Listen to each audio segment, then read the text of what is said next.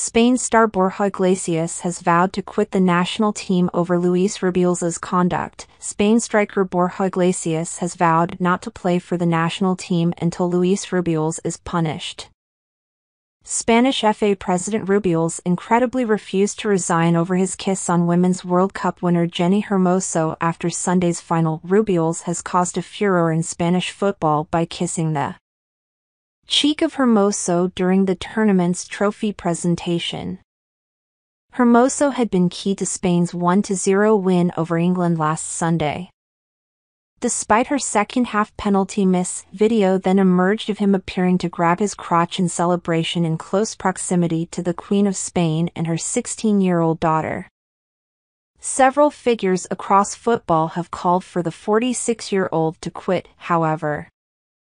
Betis Iglesias has gone one further by insisting that he will not represent the men's national team until appropriate action has been taken against Rubiales.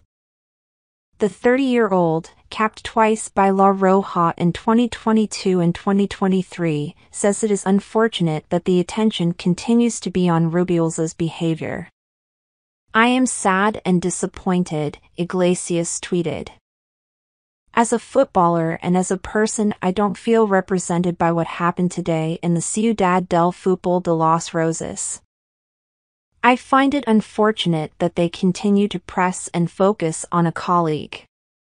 Wearing the Spanish national team shirt is one of the greatest things that has happened to me in my career. I don't know if at some point I will be an option again, but I have made the decision not to return to the national team until things change and this type of act does not go unpunished. For a fairer, more humane and decent football. Former Arsenal defender Hector Bellerin echoed those thoughts on Thursday evening. He tweeted, What is happening is truly shameful. From representing our country with that level of vulgarity, misrepresenting the victim's statements, and, on top of that, having the audacity to blame her. Going on to victimize her for having committed an abuse, are facts that no one would do. How can this go unpunished?